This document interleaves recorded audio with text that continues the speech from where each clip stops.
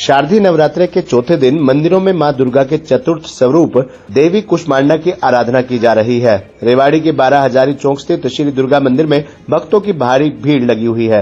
रेवाड़ी के राज international Kinder school के बच्चों ने मंदिर में पहुंचकर लाइन में लगकर माता के दर्शन किए। राज किंडर की इंचार्ज गीतांजलि ने बताया कि नवरात्र पर आज स्कूल के छोटे छोटे बच्चों को मंदिर में दर्शनों के लिए लाया गया है, ताकि बच्चे अपने देवी देवताओं, त्योहार तथा धर्म संस्कृति के बारे में जान सकें। बच्चों में खासा उत्साह है और मंदिर आकर उन्हें काफ़ी अच्छा लग रहा है। आपको बता दें कि इन दिनों शारदीय नवरात्र का पावन पर्व चल रहा है।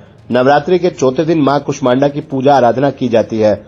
अपनी मंद, हल्की हँसी द्वारा अंड अर्थात ब्रह्मांड को उत्पन्न करने के कारण इन्हें कुष्मांडा देवी के रूप में पूजा जाता है। देवी कुष्मांडा योग ध्यान की देवी भी है। देवी का ये स्वरूप अन्नपूर्णा का भी है। उदराग्नि को शांत करती है। देवी कुष्मांडा अपनी हल्की हँसी से ब्रह्मांड को उत्पन्न करने के कारण इनका नाम कुष्मांडा पड़ा। ये अनाहत चक्र को नियंत्रित करती है, माँ की आठ भुजाएँ हैं। इसलिए अष्टभुजा देवी के नाम से भी विख्यात है। संस्कृत भाषा में कुष्मांड कुम्हड़े को कहते हैं और इन्हें कुम्हड़ा विशेष रूप से प्रिय है। ज्योतिष में इनका संबंध बुद्ध ग्रह से है खबरनामा रहने के लिए रेवाड़ी से राजेश शर्मा की रिपोर्ट।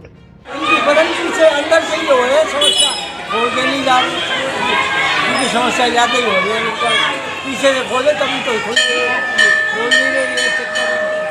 क्या कहानी? है समझ नहीं आ रही हाँ में ज़बरदस्त कहीं से हो रस्सी से निकाले कोई ना निकला इधर भी है इधर भी है।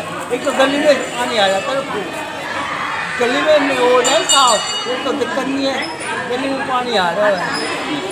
और तो वही चक्कर है। फिर रिपोर्ट करनी पड़ेगी। जी हाँ जी कल भी साफ़ करके अच्छे से क्लियर बनाए फिर खुले नहीं है तो समस्या खराब हो। गई हाँ जी हाँ जी सारा पैर देखो सारे किचड़ के आ हैं बिल्कुल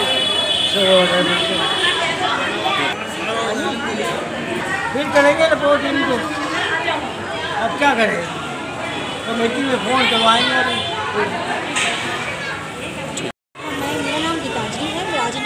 हम लोग बच्चों की दुर्गा नवरात्रि में बच्चों को माता की महानता और जो हमारे नवरात्रि हमारे संस्कार है हिंदू संस्कृति के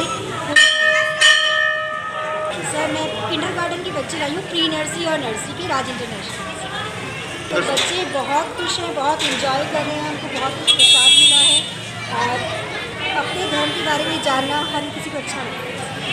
कल कल हमारी के जी क्लासेस है। तो बहुत अच्छा लगा कि बहुत अच्छा लगा।